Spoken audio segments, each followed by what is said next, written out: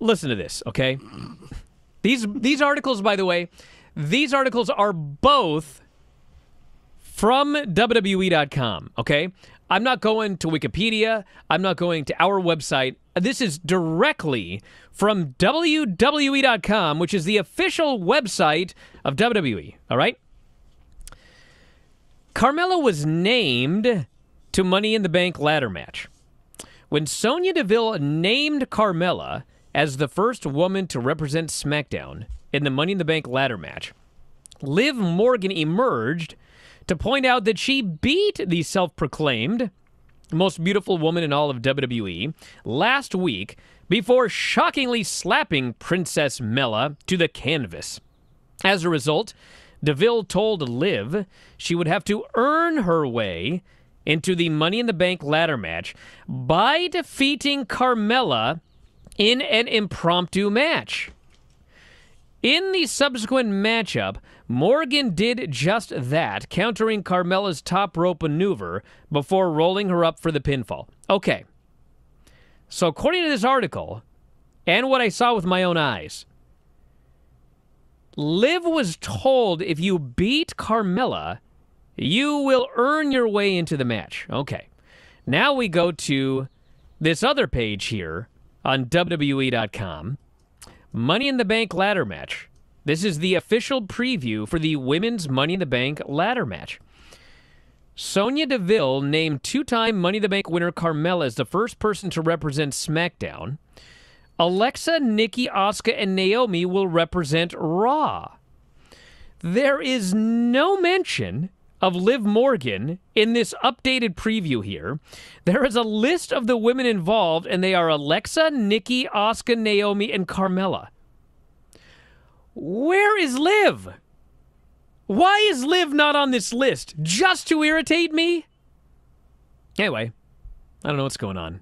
I can't help you guys. And bro, I'm just going by WWE.com, okay? I'm not making anything up. This is straight from their website. What's happening here?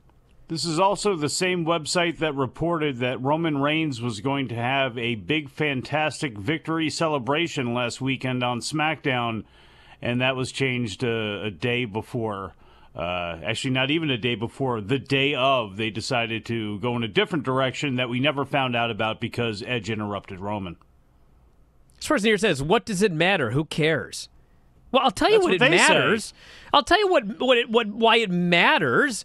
That matters because this show's year over year drop off is is stunning. That's why. SmackDown's because because when 15%. Hunter did that promo a few years ago about his buddy Mark that stopped watching, well, his buddy Mark actually stopped watching, and a They've lot of people stopped watching. For years! And bro, this is why you don't watch the show because they do storylines that lead nowhere. They do stipulations that mean nothing.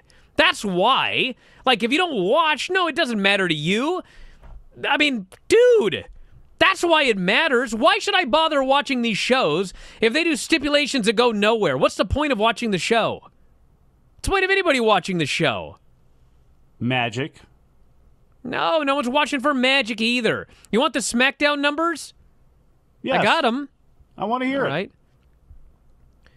SmackDown did 1.859 million viewers, down 3.6% from last week. Last week was up like 3.6% because they did a Hell in a Cell match at the last second or whatever. Whatever that thing was that they did that they announced. Yeah, they announced Rey Mysterio and Roman Reigns the day before on social media. They got a whopping 3% increase. Now they went down 3.6 million. Showed it at 0.5. It's down 14.5% year over year. Eh, who cares? Like the guy says, who cares? Yeah. Got other things to care about. I was way ahead of the curve on not caring about Raw and SmackDown. Bro. eons ago, we, we covered a Raw with uh, I did, did a show with Dave. There used to be this show called Sin Lamente, died a horrible death. Doesn't matter right now. What matters is I tried to switch up, only talk about some bullet points of Raw, and then push it to the side while there was other bigger news, more pressing things. And finally, finally, people have come along to this. This has been a long time coming. Okay, people, twenty Bro, here's the years problem, of though. atrophying dying ratings on a show that's horrendous with things that go absolutely nowhere. And yes, look, I'm not going to say that it's not the, the biggest fish in the sea. It is still the thing that drives most people's views. It drives most people's clicks, drives most of their listens. But there are ways to talk about that show without directly talking about that show. No. Because so much of that show goes absolutely nowhere, means nothing, and ultimately will just piss you off. Mike, you don't get it.